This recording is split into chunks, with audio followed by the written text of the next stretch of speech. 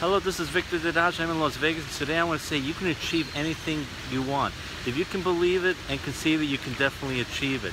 The problem is most people don't believe in their dreams that they can achieve what they want, and as a result, they never get their dreams. So I want to tell you, first start believing in yourself.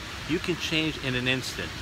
You know, don't think it will take you years to change. You can change right now and start working on your dream.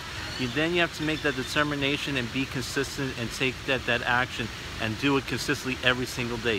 If you do that, you visualize, you start believing yourself, you take that diligent, consistent action, things will happen for you. But also be patient with yourself.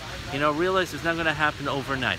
Avoid instant gratification because you're not going to get those huge results overnight. It's like when you go to a gym, you're not going to have huge arms in the, you know, in, after a couple workouts, but if you, you will if you do it over the course of many months. So believe in yourself, take massive action, keep doing it, and realize you're going to get there. You will achieve it if you don't give up. I believe in you, and I know you can do it. This is Victor Dedaj signing off from Las Vegas. Have a great day.